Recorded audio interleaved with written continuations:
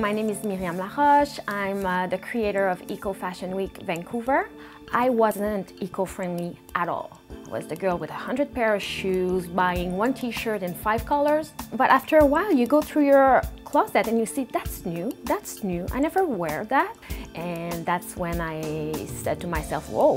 And that's when uh, eco-fashion came into my mind. And I wanted to make a difference, but still be in fashion because I love it most people say, oh, I'm eco-friendly, I'm buying uh, organic cotton, but maybe the process after to dye is really damaging. The fabric that you use, if you use organic, natural uh, fabric, where do you produce? Do you produce local or do you produce in China? So the, the footprint that you leave on the planet is very important.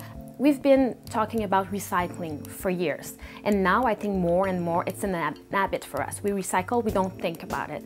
And for clothing, I think we can do something similar. The more you reuse what already exists, the less carbon footprint you live. And uh, yeah, be conscious of, of what you do.